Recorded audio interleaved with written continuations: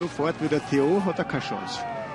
33 Wow, Sekunden, jetzt sein Vorsprung. Johann Claret attackiert Gefährlich. Max Franz. Aber, da ist er tief. Aber, aber, aber, jetzt hat's reingehauen. Au, weh, weh, weh.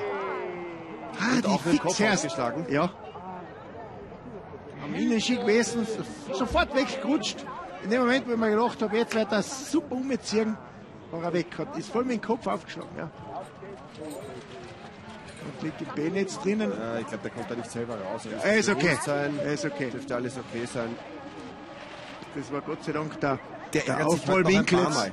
Der Auffallwinkel war sehr spitz da heraus und das war in dem Fall gut. Wow.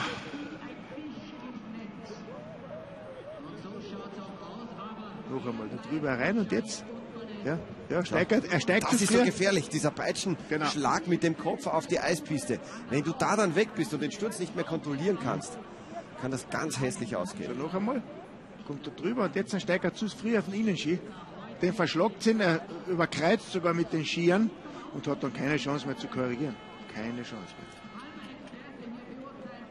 mehr. Äh, Unachtsamkeit, der Kleine, weil ich glaube, oder an der Stelle ist der Läufer doch ein bisschen, oder neigt er dazu, schon weiter vorne hinzudenken, so quasi geistig für eine Hundertstel Sekunde durchzuschnaufen zu denken, klasse, die Kurven habe ich eigentlich gut erwischt. Und jetzt kommt schon das nächste Tor, wo ich hin muss und in dem Moment